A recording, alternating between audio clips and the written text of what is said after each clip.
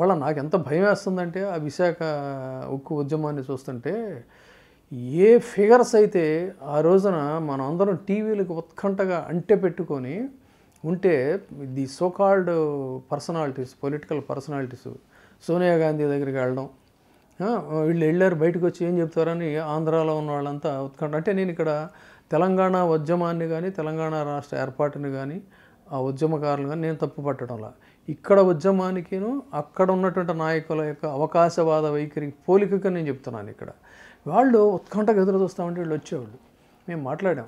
అన్నీ మాట్లాడాము. వాళ్ళు సానుకూలంగా స్పందించారు. చాలా అది ఇది అని చెప్పని. అంటే ఎంత ఆత్మవంచన ప్రజలను ఎంత మోసం చేయడం వాళ్ళు కాదు అని అంటే ఎస్ సోనియా గాంధీ గారు కట్టుబడి ఉన్నారు. ఆమె చేయమన్నారు అని చెప్పి ప్రజల ముందుకు వచ్చి మీడియా ముందుకు వచ్చి చెప్పే దమ్ము ధైర్యం లేకుండా ప్రజలను వంచారు.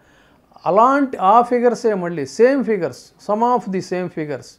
తిరిగి మళ్ళీ వాళ్ళ విశాఖ దగ్గర ముందుకు వచ్చి మేము వెళ్ళాం లోపలికి వెళ్ళాం సంప్రదించాం. పేర్లు అనవసరం జనాలకు తెలుసు గమనిస్తారు. మేము మాట్లాడుతున్నాం వాళ్ళు సానుకూలంగా స్పందించారని చెప్తూ ఉంటే చర్విత చరణం అనమాట తిరిగి మళ్ళీ ప్రజల ముందుకు వచ్చి తిరిగి మళ్ళీ ప్రజలను మోసం చేయటం ఎలా? ఇది హౌ లాంగ్ ఇట్ ఈస్. అంటే ఈ ఈ ఈ రకమైనటువంటి దివాళాకూర రాజకీయాలు ఎప్పుడు పోతాయంటే ప్రజల మధ్యలో నుంచి ప్రజల దీంతో ఒక నాయకులు ఉద్భవించినప్పుడు వారసత్వ రాజకీయాలు లేకుండా అప్పుడు మాత్రమే ప్రజా ఉద్యమాలు అనేటువంటివి నిలబడతాయి. సరైన ఇందా నేను చెప్పినటువంటి ఫలితాలు వస్తాయి. మే మరి మా పోటీ ఆ రోజు ప్రజా ఉద్యమాల్లో ఉన్న వాళ్ళు మేము ఎందుకు తోకముడుచుకొని జర్నలిజంలోకి వచ్చేసి ఇప్పుడు చేస్తున్నామంటే మా దగ్గర డబ్బులు లేవు. డబ్బులు రాజకీయం డబ్బుమయం అయిపోయినప్పుడు మనం ఇమ్మడలేమని చెప్పని మీరు వేరే మార్గాన్ని ఎంచుకో- ఎంచుకొని నేను ఇటువైపు ప్రయాణం నేను అక్కడ రాజీ పడల. ఆ రోజున ప్రత్యక్ష కార్యాచరణ కార్యక్రమాల్లో ఉండి తర్వాత ఏం చేసాం? మన పెన్ను ద్వారా మళ్ళీ మన యొక్క దీన్ని చేసాం తప్ప ఇప్పుడున్న యువతలాగా ఎందుకు అంటే ఇప్పుడున్న యువతని నేను బ్లేమ్ చేయటలా ఇప్పుడు యువతకి ఏంటంటే కెరీర్ ఓరియంటేషన్ ఎక్కువైపోయింది సామాజిక స్పృహ కంటే కూడా. సో వాడు సెవెంత్ క్లాస్ నుంచి టెన్త్ టెన్త్ నుంచి నెక్స్ట్ ఇది సమ్మర్ హాలిడేస్ కూడా వేస్ట్ చేసుకోకుండా ఎప్పుడైనా సరే అటు ఆస్ట్రేలియాకి వెళ్ళిపోదాం అమెరికాకి వెళ్ళిపోదాం డాలర్లు సంపాదిద్దాం యూరోలు తల్లిదండ్రులు కూడా అదే రకమైనది. మరి ఇంకా సమాజాన్ని ఉద్ధరించేదెవరు? సమాజాన్ని కాపాడేదెవరు? సమాజం కోసం మేమున్నాం అంటూ ప్రొఫెషనల్ పాలిటీషియన్స్ ఇప్పుడు కొత్త టెర్మినాలజీ అది. ఈ ప్రొఫెషనల్ పాలిటీషియన్స్ వీళ్ళు తయారయ్యారు. సో వాళ్ళ వెనకాల మిగతా వాళ్ళంతా సెగ్రిగేట్ అవ్వాలి. వాళ్ళు ఎలా అవుతారు అనంటే కులాల పరంగా అవ్వచ్చు మరో రకంగా కావచ్చు ప్రాంతాల పరంగా కావచ్చు లేదు ఫాన్స్ పరంగా కావచ్చు రకరకాలుగా వీళ్ళు స్కాటర్ అవుతున్నారు. వీళ్ళు లీడ్ చేస్తారు. అది పరిస్థితి. సార్ ఇప్పుడు మీరు అన్నారు ఒక మాట. అంటే వారసత్వ రాజకీయాలు కాకుండా అంటే ఒక ఉద్యమ స్ఫూర్తితోని ఒక సామాజిక స్రోతోని వచ్చినటువంటి రాజకీయాలే ప్రజల్ని ప్రభావితం చేస్తాయి. తమకు కావాల్సిన హక్కులను సాధించుకోవడానికి తమ ప్రాంతంలో అభివృద్ధిని సాధించుకోవడానికి ముఖ్యంగా ఆంధ్రప్రదేశ్లో ఇప్పుడు ఆ పరిస్థితి లేదు కదా. ఎవరు కానీ వారసత్వ రాజకీయాల మీదనే ఆధారపడి ఇప్పుడు రాజకీయాలు నడుస్తూ ఉన్నాయి ఆంధ్రప్రదేశ్లో. ఇప్పుడు విశాఖ ఉక్కును కాపాడుకోవాలంటే ఏ పరిస్థితిలో ఉన్నది అనేది మీరు చెప్పారు. ఇప్పుడు ఈ స్ఫూర్తి ఇప్పుడు ఏర్పడుతుందంటారా? ఇప్పుడు వైజాగ్ స్టీల్ ప్లాంట్ను కాపాడుకోవడంలో. ఇప్పుడు ఆ రోజున ఒకటండి మీకు ఇవాళ తెలంగాణ ఉద్యమం అంటే కేసీఆర్ గారి దగ్గర నుంచి తీసుకున్నట్టయితే అనేక మంది విద్యార్థులు అడ్వకేట్స్ వాళ్ళంతా కూడా ఏంటంటే ఉద్యమ నేపథ్యం నుంచే ఇవాళ నాయకులుగా వచ్చినవాళ్ళు ఆ రోజున వెంకయ్యనాయుడు గారి దగ్గర నుంచి కొంతమందిని తీసుకున్నట్లయితే తెన్నేటి విశ్వనాథం గారు కానీ వీళ్ళందరూ కూడా ఆ రోజున విశాఖ ఉక్కు ఉద్యమంలో చాలా యాక్టివ్గా ఆయన ఆంధ్ర యూనివర్సిటీలో ఉన్నప్పుడు చాలా యాక్టివ్ లీడర్ ఆయన. ఆంధ్రసేనకి అది ఆంధ్ర రాష్ట్ర ఉద్యమం అప్పుడు ఆంధ్రసేనలో ఆయన యాక్టివ్ పార్టీ తీసుకున్న వ్యక్తి విశాఖలో యాక్టివ్ పార్టీ. అక్కడి నుంచి అంచెలంచెలుగా ఎదిగినటువంటి వ్యక్తులు ఆ రోజున. అంటే ఉద్యమాల ద్వారా లీడర్స్గా వచ్చినటువంటి వాళ్ళు వాళ్ళంతా. ఇప్పుడు ఏంటంటే అసలు ఉద్యమాలే లేవు. ఉద్యమాలు లేనప్పుడు ఉద్యమాల నేపథ్యం నుంచి ఇంకా లీడర్లు అక్కడ ఉద్భవిస్తారు? ఆ పరిస్థితి లేదు కదా. ఉద్యమాలు ఏ వచ్చినా కూడా ఇవాళ తొక్కేసేసే పరిస్థితి అవకాశవాద రాజకీయాలతో వాటిని స్కాటర్ చేస్తున్నారు. మీకు అస్సాం గణపరిషత్తు ఆ రోజున. అస్సాంలో పెద్ద ఎత్తున ఈ ప్రఫుల్ల కుమార్ మహాంతా వీళ్ళంతా విద్యార్థి నాయకులు. తద్వారా వాళ్ళు అక్కడ ఒక లీడర్స్ కింద ఇదైనట్టుంది అట్లా ఏ రాష్ట్రంలో నేపథ్యం చూసినా గతంలో ఉద్యమాల ద్వారానే లీడర్స్ వచ్చేవాళ్ళు. ఇవాళ పరిస్థితి లేదు. అసలు అలాంటి రాజకీయమే లేదు. లేనప్పుడు ఏంటంటే ఈ ఈ మనుషులు ఒక్కొక్క ఫిలాసఫీ ద్వారా ఎవరికళ్ళు చీలిపోయినటువంటి పరిస్థితి. అయితే ఇవాళ విశాఖ ఉక్కు అనే దాన్ని విశాఖ దీనికి సంబంధించి ఎంత దౌర్భాగ్యం దారుణం అంటే ఆలోచించండి మీకు. ఆంధ్రులు సాధించుకున్నటువంటి హక్కు విశాఖ. ఇవాళ ఇదే ఇలాంటి విశాఖ స్టీల్ ప్లాంట్ గుజరాత్లో ఉందనుకోండి దాన్ని ప్రైవేటైజ్ చేస్తారా మీరు? చేయమనండి. ఉత్తరప్రదేశ్లో ఉందనుకోండి ఇదే ఇంత ఇంత విస్తీర్ణంలో ఇక విశాఖ బుక్ ఉందనుకోండి చేయమనండి అక్కడ. అంటే ఇప్పుడు కొంతమందిని ఇక్కడ జనాల మీదకు వదిలి వాళ్ళని మోటివేట్ చేస్తున్నారు మైండ్ గేమ్ మేధావుల పేరుతో. వాళ్ళని ప్రైవేటైజ్ చేస్తే ఇన్ని లాభాలు ఉంటాయి అన్ని లాభాలు ఉంటాయి అని ఆల్రెడీ కొంత కుట్ర జరుగుతూ ఉంది ఇక్కడ. దీనికి ఒకటే చెప్తున్నా నేను. దేనికి ఇప్పుడు మీకు ప్రైవేటైజేషన్లో ఎలా వస్తాయండి మీకు చెప్పండి? ఇప్పుడు ప్రైవేట్ ఉక్కు సంస్థలు కొన్ని ఉన్నాయి. అక్కడ వాళ్ళ జీతాలు ఎంత? పదివేలు పదిహేను వేలు. పదివేలు పదిహేను వేలు వాడు త తల ఎత్తితే తల నరికేస్తారు హైర్ అండ్ ఫైర్. తీసి పడేస్తారు. మాకు ఇంతమంది అవసరం లేదని చెప్పి అని అంటారు మరి ఇక్కడ ఎందుకని? మరి సరే దానికి ఇంకో కౌంటర్ ఆర్గ్యుమెంట్ ఏంటి? అంటే వీటన్నిటిని ఈ బ్యాగేజ్ అంతా ప్రభుత్వం మోయాలా అని చెప్పి అడుగుతున్నారు. మోయమని ఎవరన్నారు? అసలు దేనికి వీళ్ళ నష్టాల్లోకి వచ్చినాయి మీకు? అందరూ మాట్లాడుతుంది. వాటికి గనక మైనింగ్ అనేటువంటి దేన్ని ఏర్పాటు చేసినట్టయితే ఆ పరిస్థితి ఉండేది. మరి మీకు మీరు గనులను కేటాయించారా? క్యాప్టివ్ మైన్స్ ఉన్నాయా? లేవు. ఎందుకు లేవు? మరి దాని మీద మీరు చర్యలు ఎందుకు తీసుకోలేదు? ఒరిస్సా నుంచి తీసుకుని ఇవ్వచ్చు కదా. మీకు National Steel Authority of India ఉంది. రెండు వందల సంవత్సరాలకు సరిపోను స్టీల్ ఉంది అక్కడ. దానికి సంబంధించినటువంటి దీంతో ఎందుకు దీన్ని అనుసంధానం చేయలేదు మీరు? సరే మరి ఈ బ్యాగేజ్ అని చెప్పి అంటున్నారు. బ్యాంకుల్ని కొల్లగొట్టి మొత్తం బ్యాంకు సొమ్ము అంతా కూడా కొంత కొద్దిమంది వ్యక్తులు ప్రజల సొమ్ము అంతా తినేసేస్తే ఆ బ్యాంకులను ఉద్ధరించడానికి మళ్ళీ మీరు వందల కోట్ల రూపాయలను మీరు మూలధనం కింద ఇచ్చారు. ఇచ్చినప్పుడు దీనికి ఎందుకు ఇవ్వరు మీరు? దీర్ఘకాలిక రుణం కింద ఇప్పుడు ఉన్నదాన్ని మార్చి చేయొచ్చు కదా. ఏమవుతుంది ఇప్పుడు దీన్ని కనుక ఇచ్చినట్టయితే కారు చౌకగా మీరు ఇస్తే రియల్ ఎస్టేట్ వ్యాపారం మొదలు పెడతారు వాళ్ళు. ఉక్కు ప్రొడక్షన్ కాదు అక్కడ జరిగేది. ఎంతంటే అమూల్యమైనటువంటి నేల అక్కడ. దాన్ని కొంతమంది ప్రైవేట్ వ్యక్తుల చేతుల్లోకి వెళ్ళిపోతుంది. సింపుల్ అండి. ఇప్పుడు ఇక్కడ హైదరాబాద్ మనం ఈ మెట్రో తీసుకుందాం. మనకి మనందరికీ ముందు చెప్పింది ఏంటి? అద్భుతమైనటువంటి మెట్రో ఫ్లైఓవర్స్ వస్తున్నాయి. ట్రాఫిక్ తగ్గిపోతుందని కదా మనకి చెప్పారు. ఆ రకంగానే అనుకున్నాం. తా- కానీ ఇక్కడ జరుగుతుంది ఏంటి చూస్తే అడుగు అడుగున అడుగు అడుగున వాళ్ళకి ఏం చేశారు? కాంప్లెక్స్లు కట్టబెట్టారు.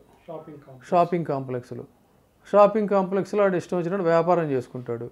వాడు అక్కడ కూల్ డ్రింకు వంద రూపాయలంటే వంద రూపాయలు. పా పది రూపాయల పాప్కార్న్ వంద రూపాయలంటే వంద రూపాయలు. అంటే ఏంటి? శాసిస్తున్నారు వాళ్ళు. వినియోగదారులను శాసిస్తున్నారు. కొనాలి అని. అంటే తిరిగి మళ్ళీ ఒక ఎంత ప్రమాదకరమైనటువంటి స్థితిలోకి మనం నెట్టివేయబడుతున్నాం అంటే ఈ ప్రపంచీకరణ నేపథ్యం ప్రైవేటైజేషన్ నేపథ్యంలో ప్రైవేటీకరణ గ్లోబలైజేషన్ అనేటువంటి పేర్లతో సంపద అతి కొద్ది మంది చేతుల్లోకి ఇవాళ వెళ్ళిపోతుంది. సంపద అతి కొద్ది మంది చేతుల్లోకి వెళ్ళినప్పుడు ఏమవుతుంది? మళ్ళీ ప్రజల్లో ఒక సమాజంలో అశాంతి ఆ తర్వాత తదనంతర కాలంలో ఒక తిరుగుబాటు అనేటువంటిది వస్తుంది. దేనికోసం మన ఇవాళ వీళ్ళందరినీ ఎవరైతే ఇవాళ మోటివేట్ చేస్తున్నారు. వాళ్ళని ఒకటే ప్రశ్నిస్తున్నా ఎస్ ఇప్పుడున్నటువంటి పరిపాలన కంటే కూడా ఈస్ట్ ఇండియా ఇంగ్లీష్ వారి పరిపాలన చాలా బాగుంది. ఈస్ట్ ఇండియా వారు కట్టినటువంటి మీరు అక్కడికి వెళ్ళి చూడండి ఆ- వంతెనలు అవన్నీ ఉన్నాయి కదా మూసీ నది మీద చెక్కు చెదరకుండా ఉంటాయి. తదనంతర కాలంలో కట్టినటువంటి బీట్లు వారిపోయినాయి. ఇలా మీరు ఇక్కడ ఎక్కడ చూసుకున్నా కూడా ఏ ప్రాజెక్ట్ అయినా కూడా అంతే. సో దాన్ని బట్టి ఏంటి మరి ఆ రోజున చాలా బాగుంది కదా వాళ్ళ పరిపాలన. స్వేచ్ఛ కోసం స్వాతంత్రం కోసం ఎంతమంది ప్రాణాలు పణంగా పెట్టారో ఉరికొయ్యల మీద ఊయలు ఊగిన పరిస్థితి మహాత్మా గాంధీ అంత ఉద్యమం దేనికి తెచ్చాడు? మనిషి స్వేచ్ఛగా జీవించకపోతే స్వేచ్ఛ లేనప్పుడు ఎక్కడైనా కూడా బందీ. సగం చచ్చినటువంటి మనిషితో సమానం. ఆ స్వాతంత్రం కోసమే అమెరికా కావచ్చు లేకపోతే ఇండియా కావచ్చు ఇంకా మరో దేశం మరో దేశంలో ఎందుకు ఈ విప్లవాలన్నీ వచ్చినాయి అంటే స్వేచ్ఛ కోసం వచ్చిన పరిస్థితి. మరి మీరు ఏ ఈస్ట్ ఇండియా కంపెనీని అయితే ఆ రోజున మనం తరిమి కొట్టాము? ఏ బ్రిటిషర్స్ని అయితే స్వేచ్ఛ కోసం తరిమి కొట్టాము? ఆ తిరిగి మళ్ళీ ఈ సంపదని కొద్దిమంది చేతుల్లోకి మీరు ఇచ్చేస్తే రేపు ఏమవుతుంది? మళ్ళీ మనం బందీలుగానే అయిపోతాం కదా? మన స్వేచ్ఛ పూర్తిగా కొంతమందికి హరించుకునే పరిస్థితి కదా? ఇంత ప్రమాదకరమైన దీనికి మీరందరూ తలా ఒక చేయేసి వాడిని పెద్దవాడిని చేయటం ఏంటి? ఎంత ఎంత అన్యాయం జరిగిందండి ఆంధ్రప్రదేశ్కి? భాషా ప్రయుక్త రాష్ట్రాల పేరుతోనేమో ఆంధ్రప్రదేశ్కి ఉన్నటువంటి భూభాగాల్ని అటు మహారాష్ట్రకి కొంత కట్టబెట్టేశారు. ఇటు కర్ణాటకకి కొంత కట్టబెట్టేశారు. ఒరిస్సాకి కొంత కట్టబెట్టేశారు. మొత్తం ఉన్న రాష్ట్రమే చిన్నదైపోయింది. ఆ రాష్ట్రంలో మళ్ళీ ఆదానీలని వాళ్ళని వీళ్ళని ఇక్కడికి ఇన్వైట్ చేసి దీ ఈ ప్రాంతాల్లో ఇంపార్టెంట్ ప్లేసెస్కి మీరు సామంతరాజులు అయిపోండరా. మీరు చెప్పినట్టుగా మేము కుక్కల్లా పడి ఉంటాం తెలుగు వాళ్ళందరం కూడా అనే పరిస్థితి తెస్తున్నారంటే ఏమైపోయింది తెలుగువాడి పౌరుషం? ఈ గడ్డ మీద నడయాడినటువంటి ఒక అల్లూరి సీతారామరాజు లాంటి వాడు ఒక ఆంధ్ర కేసర్ లాంటి వాడు ఒక ఉక్కు కాకానే వెంకటరత్నం లాంటి వాళ్ళు వీళ్ళందరూ నడయాడినటువంటి ఈ గడ్డలో అలాంటి వారసులందరూ ఎందుకు లేరు ఇవాళ? దేనికి చావ చచ్చిపోయి వాళ్ళు ఇంత నాటకాలు ఆడే పరిస్థితి వచ్చిందా? దీని మీద నుంచి మీరు రాజకీయ లబ్ధి పొందాలని ఏ పార్టీకి ఆ పార్టీ ప్రయత్నం చేస్తున్నారు? ఇది అన్యాయం కాదు ఇది ఇది దుర్మార్గం కాదు ఇది. ఎందుకు వీటన్నిటిని వదిలేసేసి ఒక్కడ రాలేడా ఉద్యమంలోకి ముందుండి నడిపించడానికి? నాకు అనవసరం రాజకీయాలు నాకు అనవసరం వీడితో నాకు అనవసరం. నా తెలుగు గడ్డ నేను తెలుగు బిడ్డని నా గడ్డను నేను కాపాడుకుంటానని ఉద్యమించే నాయకుడు వీళ్ళల్లో ఒక్కళ్ళు ముందుకు రావట్లేదు ఎందుకనండి? అన్యాయం కాదు ఇది. దేనికోసం ఈ దివాళాకోర రాజకీయం? ఎవరిని ఉద్ధరించడానికి దివాళాకోర రాజకీయం? ప్రజల్ని వంచనకి గురి చేసి ఆ వంచన మీద మంచ కట్టుకొని మీరు ఇది చేయాలనుకుంటున్నటువంటి వంచన రాజకీయాలు అవసరమా? ఇప్పుడున్నటువంటి పరిస్థితుల్లో విశాఖను కాపాడుకోవాలంటే అంటే ఈ రాజకీయాలకు అతీతంగా ఒక ఐక్య ఉద్యమం రావాలంటారా మీరు? సింపుల్. తెలంగాణ ఇప్పుడు మనకు చేత కాకపోతే చూసి నేర్చుకోమంటారు ఎవరైనా సరే. మొన్నటికి మొన్న జరిగినటువంటి మహోద్యమంగా జరిగినటువంటి తెలంగాణ ఉద్యమాన్ని మీరు ఎగ్జాంపుల్గా తీసుకోండి. విశాఖ ఉద్యమం ఇవాళ విశాఖకే పరిమితం అవుతూ ఉంది. కొన్ని రాజకీయ శక్తులకే పరిమితం అవుతుంది. కాదు అది. యావత్ రాష్ట్ర ప్రజా ప్రజానీకాన్ని కూడా సమాయత్తం చేయాలి వాస్తవాలు తెలియజెప్పాలి. ఆ ఆస్తి ఒక విశాఖపట్నం వాసుల ఆస్తి కాదు ఇది. ఇది తెలుగు ఆంధ్రుల ఆస్తి ఇది. ఆంధ్రుల హక్కు ఇది. అక్కడ గనక ఇది ఏదైనా అయితే మనం ఎంత నష్టపోతాం? మనందరం అనంతపురంలో ఉన్నటువంటి వాళ్ళు కూడా ఎంత దగాకి దోపిడీకి గురవుతారు అక్కడ కనుక ఏదన్నా జరిగితే. లేదు యువతల పక్కన ఉన్నటువంటి వాళ్ళు ఎంత అన్యాయం ఇదంతా కూడా తెలియజెప్పి యావత్ రాష్ట్రంలో ఉన్న ప్రజలందరినీ కూడా సమాయత్తపరచాల్సినటువంటి సమయం ఆసన్నమైంది.